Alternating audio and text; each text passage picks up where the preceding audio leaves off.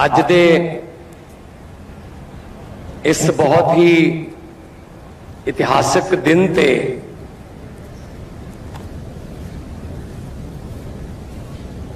ਮੇਰੇ ਨਾਲ ਮੌਜੂਦ ਮੇਰੇ ਕੈਬਨਿਟ ਦੇ ਸਾਥੀ ਮੇਰੇ 92 ਮੈਂਬਰੀ ਵਿਧਾਇਕਾਂ ਦੀ ਟੀਮ ਦੇ ਮੇਰੇ ਸਾਥੀ ਸਾਰੇ DG Punjab police, Shri Gaurav Yadav ji.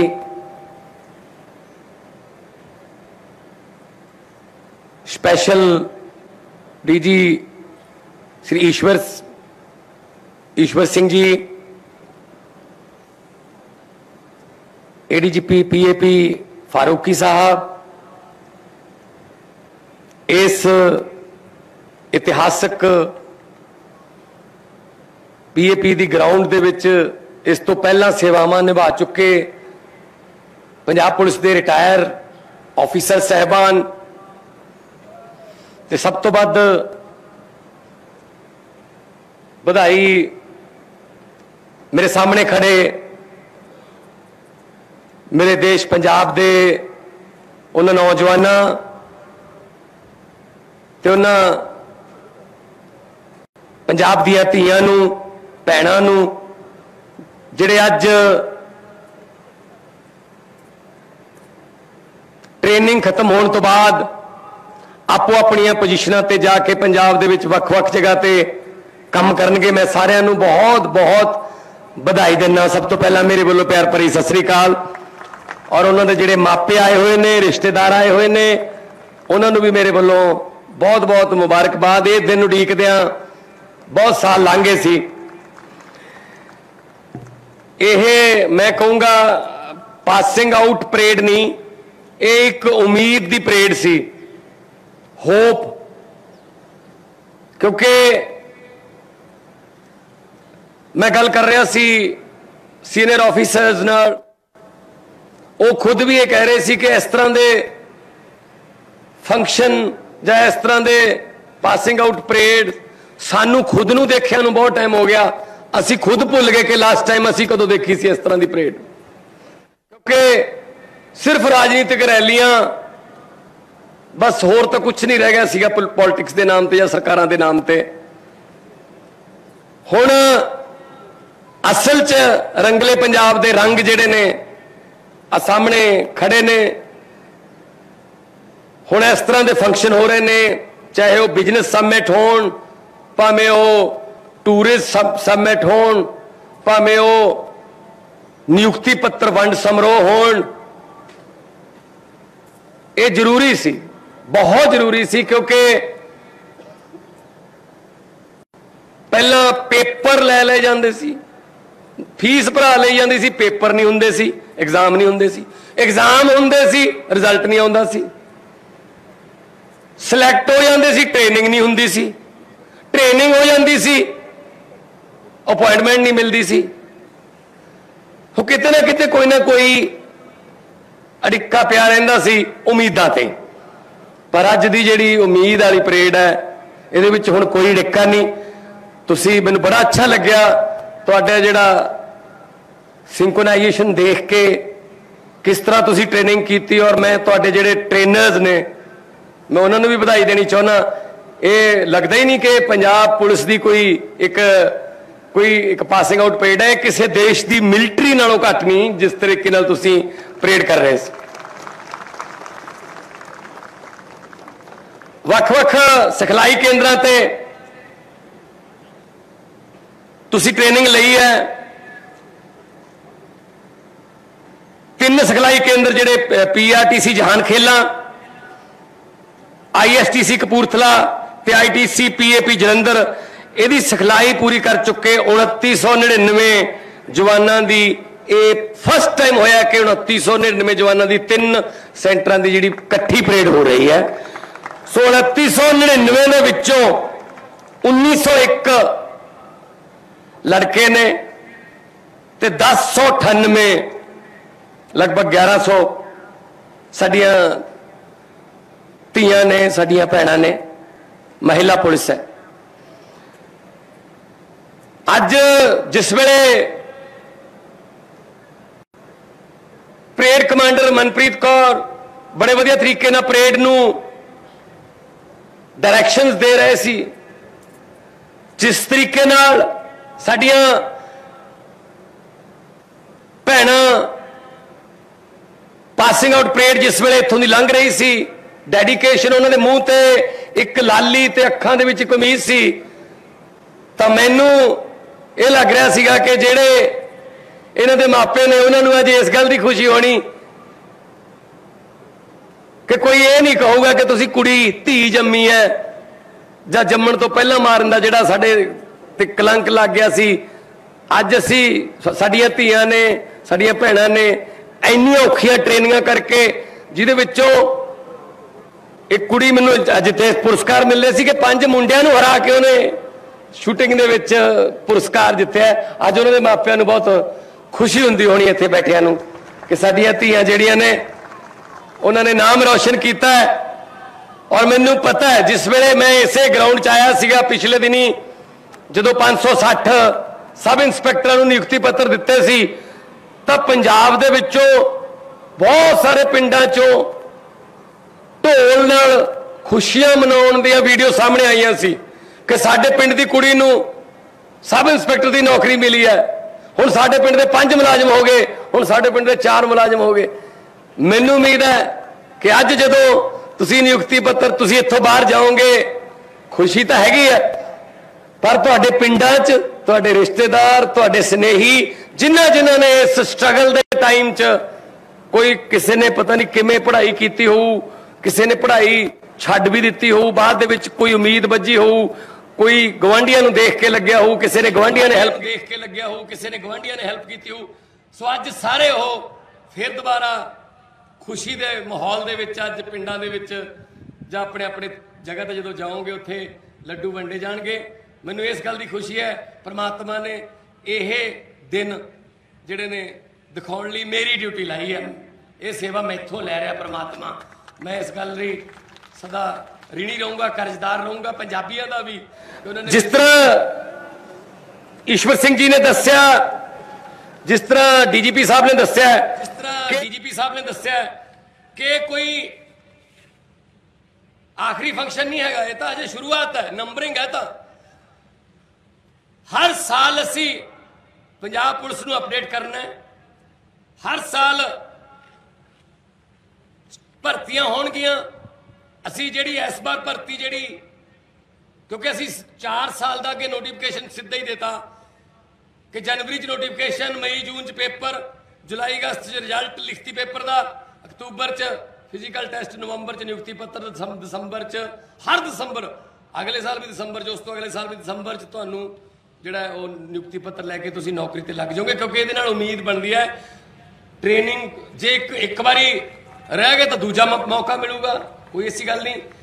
ਸੋ ਗਰਾਊਂਡ ਦੇ ਵਿੱਚ ਜਾਓਗੇ ਟ੍ਰੇਨਿੰਗ ਕਰੋਗੇ, ਬੁਰੀ ਸੰਗਤ ਤੋਂ ਬਚੋਗੇ, ਤੇ ਸਾਡਾ ਪੰਜਾਬ ਜਿਹੜਾ, ਦੁਬਾਰੇ ਪੰਜਾਬ ਬਣੂਗਾ। ਸੋ ਮੈਂ ਜਿਹੜਾ ਫਿਊਚਰ ਦੇ ਵਿੱਚ ਅਸੀਂ ਭਰਤੀਆਂ ਦਾ ਦੌਰ ਜਿਹੜਾ ਉਹਦੇ 'ਚ ਪੰਜਾਬ ਪੁਲਿਸ 'ਚ 1800 ਸਿਪਾਹੀ ਤੇ 300 ਸਬ ਇੰਸਪੈਕਟਰਾਂ ਦੀ ਭਰਤੀ ਦੀ ਜਿਹੜੀ ਪ੍ਰਕਿਰਿਆ ਚੱਲ ਰਹੀ ਹੈ 53 ਸਪਾਈ ਤੇ 12 ਸਬ ਇੰਸਪੈਕਟਰ ਸਪੋਰਟਸ ਕੋਟੇ 'ਚ ਭਰਤੀ ਕੀਤੇ ਜਾਣਗੇ। ਇਹ ਇਸ ਤਰ੍ਹਾਂ ਚੱਲਦਾ ਰਹੂਗਾ।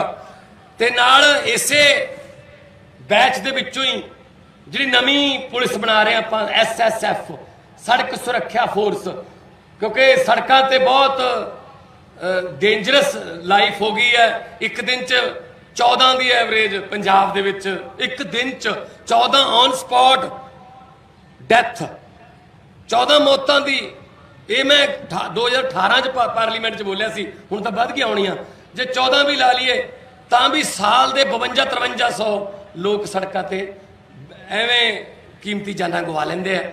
ਸੋ ਅਸੀਂ ਕਿਹਾ ਵੀ ਇੱਕ ਪੁਲਿਸ ਹੀ ਐਦਾਂ ਦੀ ਰੱਖੀਏ, ਜਿਹੜੀ ਸੜਕ ਤੇ ਰਵੇ। ਉਹਨਾਂ ਕੋਲੇ ਸ਼ਾਨਦਾਰ ਜਿਹੜੀ ਅੱਜ ਸਭ ਤੋਂ ਤਕੜੀ ਜਿਹੜੀ ਸਭ ਤੋਂ ਵੱਧ ਹਾਰਸ ਪਾਵਰ ਦੀਆਂ ਗੱਡੀਆਂ ਦੇਵਾਂਗੇ ਉਹਨਾਂ ਨੂੰ, ਉਹਨਾਂ ਦੇ ਉਹਨਾਂ ਦੇ ਵਿੱਚ ਉਹਨਾਂ ਕੋਲੇ ਫਸਟ ਏਡ ਦਾ ਸਮਾਨ ਹੋਊਗਾ ਗੈਸ ਕਟਰਸ ਹੋਣਗੇ, ਉਹਨਾਂ ਕੋਲੇ ਗੱਡੀਆਂ ਨੂੰ ਕੋਈ ਟਰੱਕ ਖਰਾਬ ਹੋ ਗਿਆ, ਕੋਈ ਗੰਨੇ ਵਾਲੀ ਟਰਾਲੀ ਪਲਟ ਗਈ, ਉਹਨਾਂ ਨੂੰ ਚੱਕ ਕੇ ਸਾਈਡ ਤੇ ਕਰਨ ਦਾ ਉਹਨਾਂ ਦਾ ਸਾਰਾ ਹੋਊਗਾ ਪ੍ਰਬੰਧ।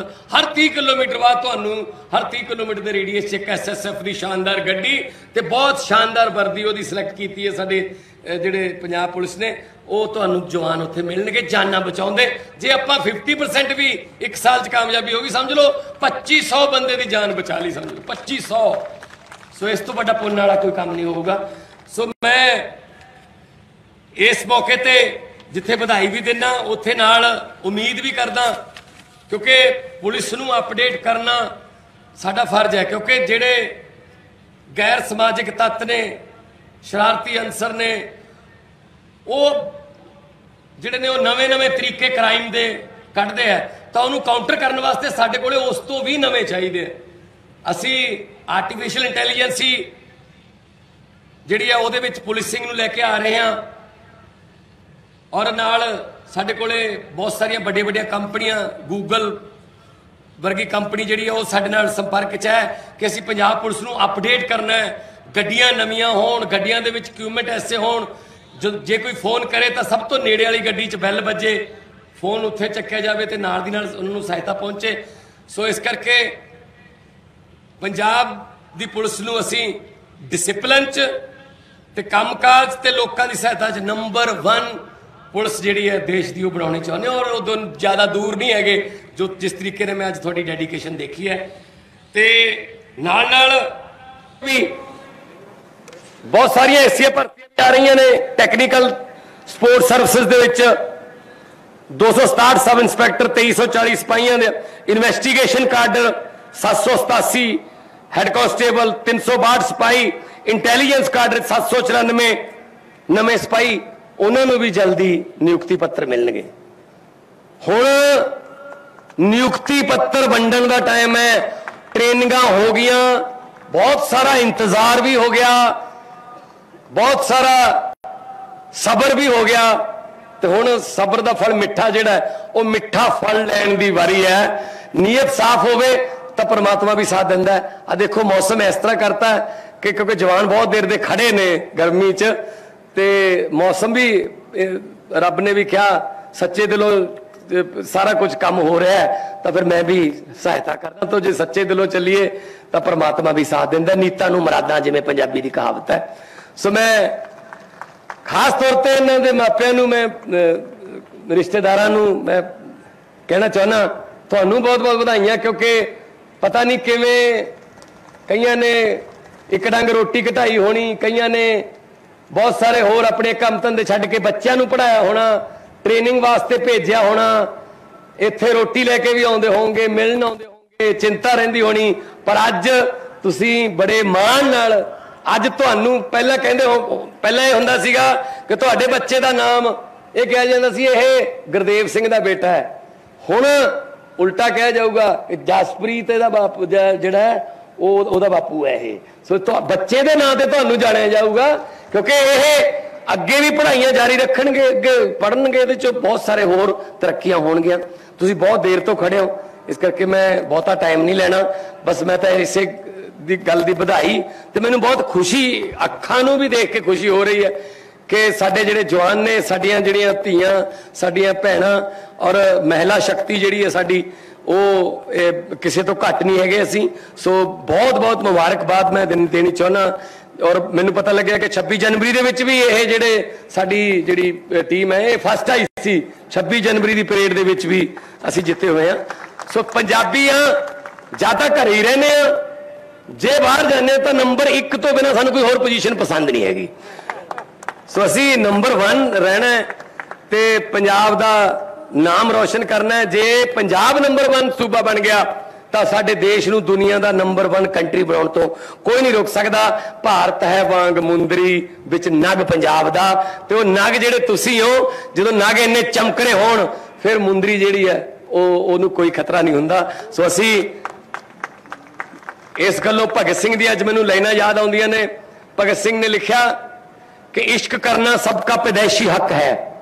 इश्क करना सबका पैदाइशी हक है क्यों ना इस बार वतन की सरजमी को महबूब बना लिया जाए जो तुसी सौ खादी के मैं बिना किसी डर तो भय तो या पक्षपात तो ਮੈਂ ਆਪਣੀ ਡਿਊਟੀ ਨਿਭਾਵਾਂਗਾ ਸਭ ਤੋਂ ਵੱਡੀ ਗੱਲ ਉਹ ਹੈ ਜਦੋਂ ਤੁਸੀਂ ਤੁਹਾਡੇ ਕੋਲੇ ਲੋਕ ਆਉਣਗੇ ਦੁਖੀ ਲੋਕ ਆਉਣਗੇ ਤੁਹਾਡੇ ਕੋਲੇ ਜ਼ਿਆਦਾਤਰ ਪੁਲਿਸ ਕੋਲੇ ਜ਼ਿਆਦਾਤਰ ਸ਼ਿਕਾਇਤਾਂ ਹੀ ਆਉਂਦੀਆਂ ਔਰ ਜੇ ਤੁਸੀਂ ਇਨਸਾਫ ਕਰਤਾ ਤਾਂ ਪੁੰਨ ਉਹਦੀ ਕੋਈ ਕਿਸੇ ਕਰੰਸੀ 'ਚ ਕੋਈ ਵੈਲਿਊ ਨਹੀਂ ਹਾਂ, ਤੁਸੀਂ ਜੇ ਕੋਈ ਕੋਈ ਇਸ ਤਰ੍ਹਾਂ ਦਾ ਸਿਫਾਰਿਸ਼ ਪੂਰਸ਼ ਕਿਤੋਂ ਮੰਨ ਕੇ ਕਰਤਾ ਕੰਮ ਗਲਤ, ਤਾਂ ਜਿਹੜੀ ਬਦਦੁਆ ਹੋਊਗੀ ਉਹ ਉਹਦੇ ਉਹਦੇ ਵਰਗਾ ਕੋਈ ਮੈਂ ਕਹਿੰਦਾ, ਉਹ ਕਹਿੰਦੇ ਨਾ ਗਰੀਬ ਕੀ ਦੁਆ ਔਰ ਪਰਮਾਤਮਾ ਕੀ ਦਰਗਾਹ। ਸਿੱਧਾ ਰਸਤਾ ਹੈ, ਕੋ no bypass no bus stand in between ਸਿੱਧਾ ਰਾਹ ਹੈ। ਸੋ ਤੁਸੀਂ ਤੁਹਾਡੇ ਕੋਲੇ ਬਹੁਤ ਵੱਡਾ ਮੌਕਾ ਹੈ ਪੰਜਾਬ ਦੇ ਲੋਕਾਂ ਦੀ ਸੇਵਾ ਕਰਨ ਦਾ ਤੇ ਉਹਨਾਂ ਦੇ ਉਹਨਾਂ ਦੀਆਂ ਜਿਹੜੀਆਂ ਦੁਆਵਾਂ ਲੈਣ ਦਾ।